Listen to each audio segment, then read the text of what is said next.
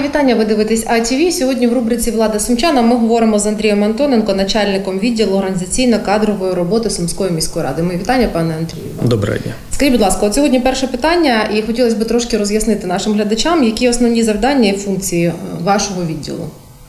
Ну, Відділ організаційно-кадрової роботи є апаратним підрозділом, на відміну від е, решти видів, скажімо так, підрозділів, які є галузевими, як то, наприклад, управління освіти, відділ охорони здоров'я, або функціональними, які виконують одну функцію, це там правове управління чи департамент фінансів. Е, Відділ організаційно-кадрової роботи є класичним апаратним підрозділом, діяльність якого спрямована всередину організації. Тобто ми мало співпрацюємо з мешканцями міста. Ми е, направлені на е, покращення роботи самої організації, самої міської ради. Що входить, ну як би мовити, в, в напрямки роботи відділу. Це е, забезпечення комунікації між виконавчим комітетом, міським головою та виконавчими органами, е, координація роботи між ними, е, ну, покращення ефективності роботи. Відділ складається з двох е, секторів: Е, сектор е, організаційної роботи і кадрового забезпечення. Якщо по кадровому забезпеченню, в принципі, більш-менш зрозуміло, зрозуміло, тому що да, кадри. Ті, хто працюють. Да, ті, хто працює, да, то що е, часто по організаційним питанням, якби люди цікавляться, що ж це таке, власне. Ну, е, до головних завдань це. е, Відноситься е, до головних завдань відділу відноситься планування роботи виконавчого комітету, оскільки виконавчий комітет це, як відомо, колегіальний орган, до складу якого входять не лише представники Сумської міської ради, а підприємств, установ, організацій міста, і вони працюють е, час від часу, збираючись на свої засідання. А якби є постійна робота, яку е, потрібно здійснювати для них, готувати матеріали, е, навіть е, елементарно здійснювати якийсь обмін інформацією, координувати їхню взаємодію, повідомляти їх про засідання, наприклад, тощо. Ну, головне це, звісно, формування плану роботи виконавчого комітету, який наш відділ власне формує на підставі пропозицій усіх виконавчих органів і заступників міського голови. Потім це інформаційне забезпечення діяльності виконавчого комітету, міського голови, виконавчих органів, це підготовка різного роду інформаційних, аналітичних матеріалів, довідкових е, і таке інше. Е, Це е, організація проведення апаратних нарад при міському голові, звіту міського голови, який відбувається щорічно, взаємодія з асоціацією міст України, тобто такий широкий спектр, саме ну як їх називають зазвичай організаційних питань. Так? А які основні завдання, все таки завдачі вирішували в 2019 році, впродовж цих восьми місяців, які вже позаду? Е, У 2019 році е, відділ працює над трьома такими е, глобальними, скажімо, документами. Як я раніше трохи сказав, е, одним із напрямків роботи з завдань і функцій це є підвищення ефективності роботи виконавчих органів. Здійснюється це переважно шляхом е, внесення відповідних змін до нормативних документів, які регламентують той чи інший вид діяльності. Ну, це регламент роботи виконавчого комітету, положення, посадові інструкції, е, положення про виконавчі органи і таке інше. Е, Протягом 2019 року відділ працює, як я сказав, над трьома важливими документами. Перше з них це е, положення про умови оплати праці посадових осіб місцевого самоврядування. Воно вперше в нас розробляється, і це достатньо такий е, серйозний глобальний документ, який буде повністю унормовувати питання оплати праці, починаючи від встановлення посадових окладів і закінчуючи преміюванням. Да. І це стосуватиметься не тільки е, там посадових осіб місцевого самоврядування, а в тому числі вищого керівництва міського голови і заступників, і е, технічного персоналу, тобто починаючи від міського голови і закінчуючи прибиральницями. Цей документ буде охоплювати усі питання е, їх діяльності. Ну, яка його мета? Мета створення цього документу це якби осучаснити підходи до оплати праці посадових осіб місцевого самоврядування, е, прибрати суб'єктивізм е, у прийнятті рішень про преміювання, в тому числі, е, ну і створити такі умови для посадових осіб місцевого самоврядування, як вам відомо, е, нам. Е, Заборонено займатися іншою оплачуваною діяльністю, тобто створити такі умови, коли посадова особа, приносячи користь організації і місту, змогла би е, ще і заробити. Тобто її праця повинна бути належним чином оплачена, оцінена. Але е, знову ж таки обмовлюся, це повинні бути повинні бути визначені чіткі критерії, за які ну, показники преміювання, як вони зараз є в проєкті рішення, які, за які можуть бути оцінені відповідно оплачені. Другий документ це. Програма підвищення кваліфікації посадових осіб місцевого самоврядування. На початку року Кабінет міністрів прийняв постанову, якою кардинально змінив е, процедуру підвищення кваліфікації, підготовки, перепідготовки кадрів для служби в органах місцевого самоврядування. Там е, збільшується роль вже безпосередньо органів місцевого самоврядування, які можуть виступати у ролі замовників е, освітніх послуг. Тобто ми самі вже зможемо формувати вимоги до програм, які надаються суб'єктами надання освітніх пос- послуг. Ми можемо впливати на програми, тобто ми. Можемо говорити вузам або іншим е, закладам, установам, що ми хочемо, да, що нам потрібно для того, щоб наші працівники отримали належні знання. І відповідно це потребує, потребує е, унормування. Е, Передбачено у постанові Кабінету міністрів. Знову ж таки, це рекомендаційна норма, але вона є. Раніше її не було. Що органи місцевого самоврядування повинні відраховувати на ці цілі на потреби підвищення кваліфікації не, менше ніж 2% від фонду заробітної плати. Це суттєва сума. Е, І, е, в принципі, для того, щоб якби з нею скористатися, потрібно відповідно до програмно-цільового методу створити програму. От якраз зараз кінець року на часі саме ця робота. Якщо перший документ він уже ось ось на виході, то над е, положенням над програмою підвищення кваліфікації зараз якраз триває активна робота. Ну а наступним це такі плани у нас е, ще підготувати документ, порядок утворення, ліквідації та реорганізації виконавчих органів і комунальних підприємств та установ. Е, Тому що вносячи зміни до структури, ми якби відчуваємо в тому, що є потреба зараз такі змінити. На рівні е, держави існує такий порядок. Він затверджений постановою Кабінету міністрів. Він достатньо детальний, і я вважаю, що ми зможемо взяти його за основу, е, але і адаптувавши під е, умови вже саме органу місцевого самоврядування, під умови Сумської міської ради. Ну, це такі три важливі задачі. Ну, на початку ми все ж таки сказали, що е, відділ організаційно-кадрової роботи. От щодо кадрової роботи, всіх цікавить, як відбувається прийом на службу в органи місцевого самоврядування. Наскільки це складна процедура, і кого в першу чергу берете на роботу? Що це за люди такі? Ну, е, згідно з законом про службу органах місцевого самоврядування, обмежень стосовно доступу на службу не, моє, не, може, не може бути.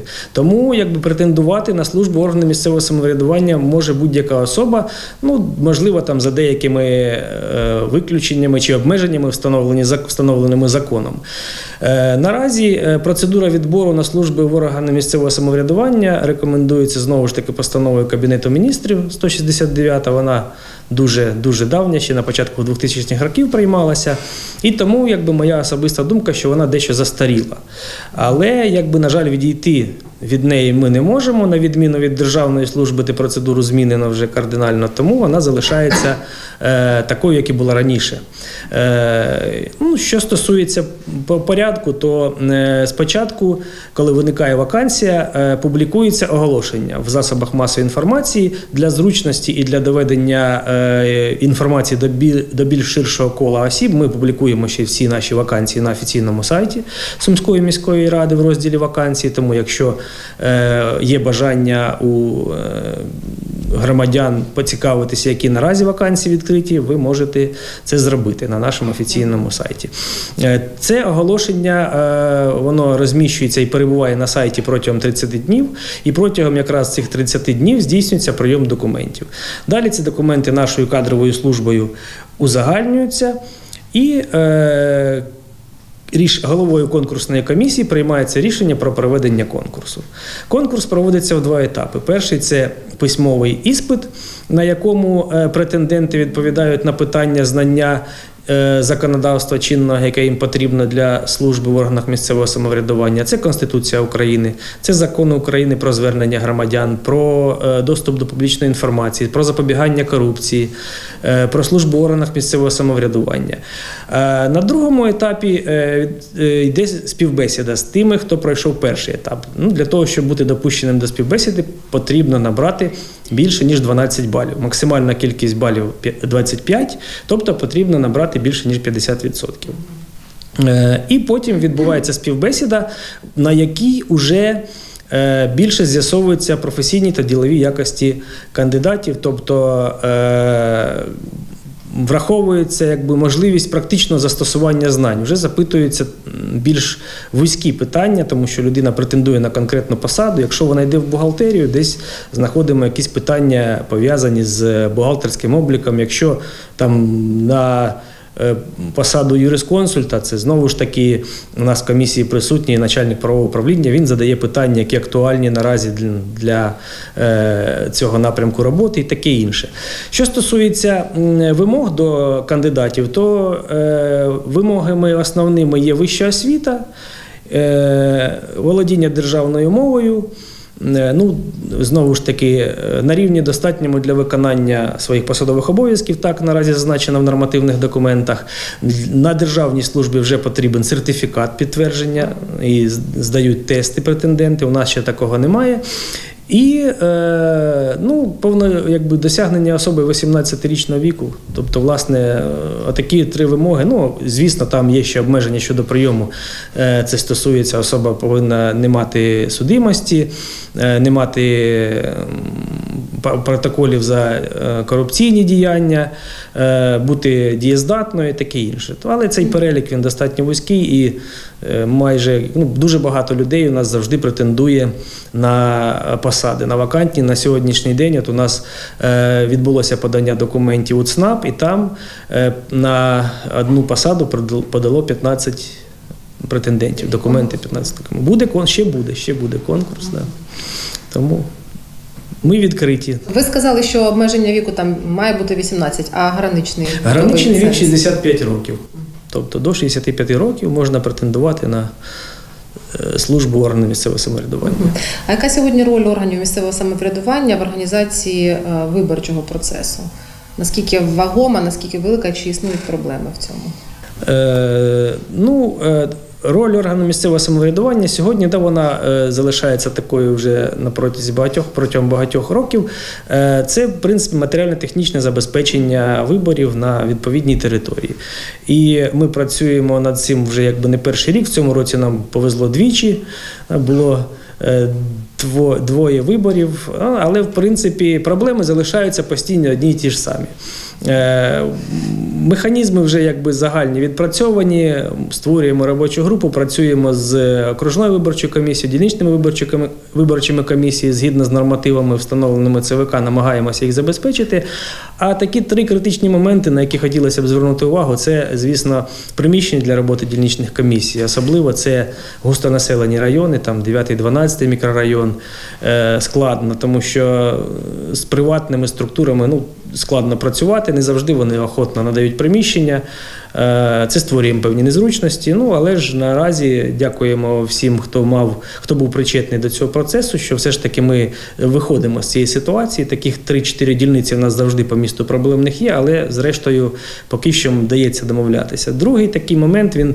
Технічний, і мені здається, що це вже деякі рудименти, які ще залишилися з е, можливо навіть часів Радянського Союзу. Це, е, по-перше, це дошки для розміщення реклами. Ну, Якщо поглянути на останні два виборчих е, дві виборчих кампанії, то мені важко уявити, хто користується цими дошками, тому що взагалі, якби переможці цієї кампанії взагалі побудували свою стратегію на соціальних мережах і на індивідуальному підході. Да і решта якби кандидатів активно використовує аудіовізуальні засоби масової інформації, е, бігборди. Е, І переважає все ж таки е, якби донесення інформації до конкретного е, виборця, так? тобто вручення якоїсь символіки партійної, так, газет там тощо. Тому я, ми готували такий лист до Центральної виборчої комісії з е, проханням якби, переглянути цю постанову ЦВК.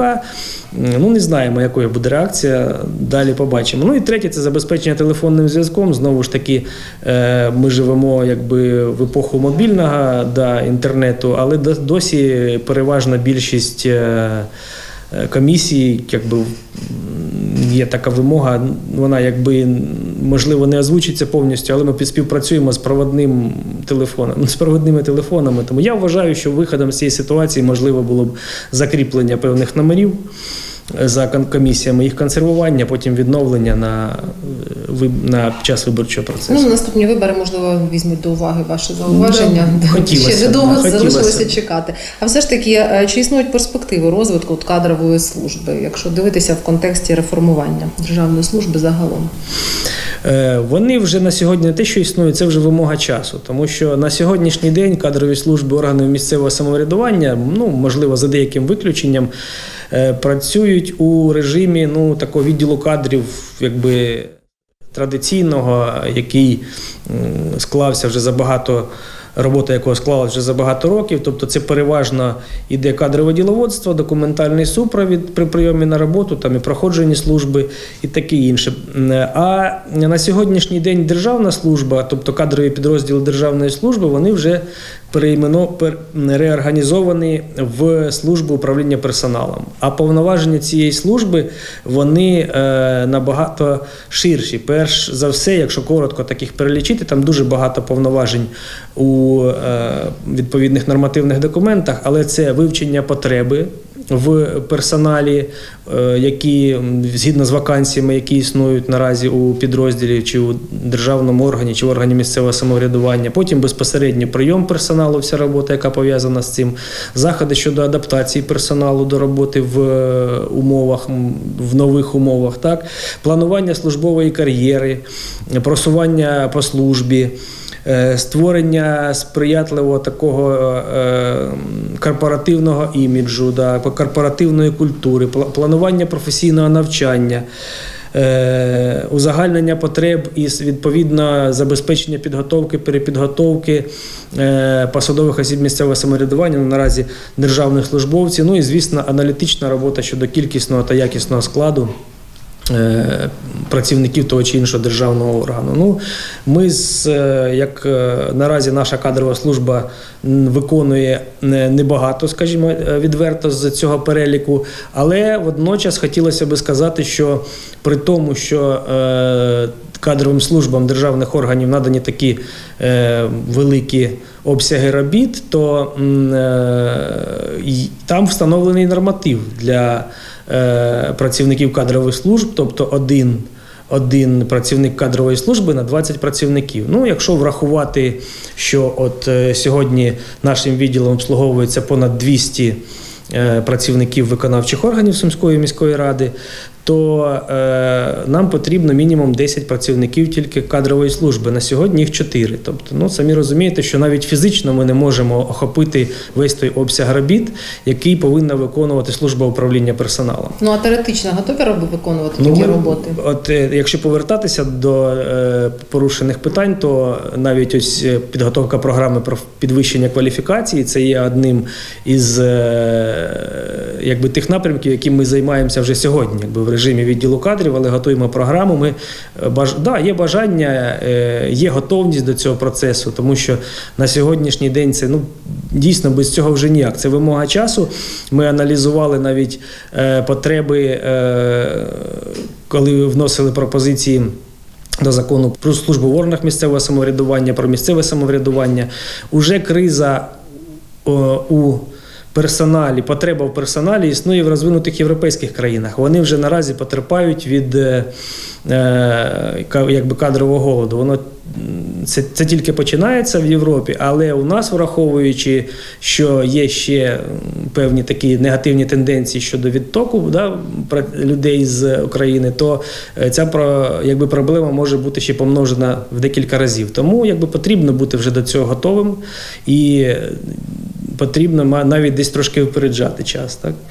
для того, щоб від, ну, відповідати тим вимогам і викликам, які він перед тобою ставить. Ну, тому будемо намагатися. Є підтримка міського голови, є бажання е, розвивати цей напрямок роботи, тому будемо е, намагатися досягати поставлених цілей і задач.